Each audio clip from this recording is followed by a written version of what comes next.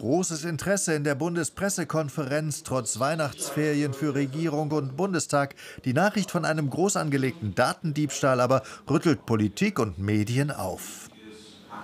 Die Bundesregierung nimmt diesen Vorfall sehr ernst.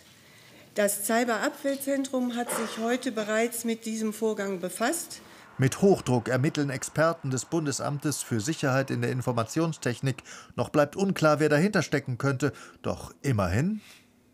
Mit Blick auf das Bundeskanzleramt sieht es nach erster Sichtung so aus, dass keine sensiblen Informationen und Daten in den Veröffentlichungen enthalten sind, auch nicht im Hinblick auf die Bundeskanzlerin.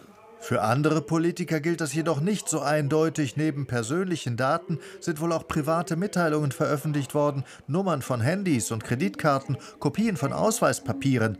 Im bayerischen Seon plädiert CSU-Landesgruppenchef Dobrindt deshalb heute für bessere Sicherungssysteme.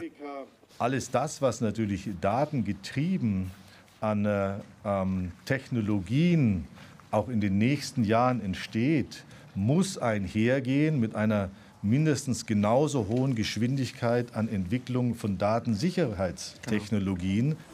Die Opposition reagiert entsetzt. Es soll offensichtlich ein Klima der Angst, ein Klima der Unsicherheit in unserem Land geschaffen werden. Ich finde, dass hier in aller Konsequenz von den zuständigen Behörden agiert werden muss. Die FDP prüft juristische Schritte und die Grünen wollen sich nicht einschüchtern lassen.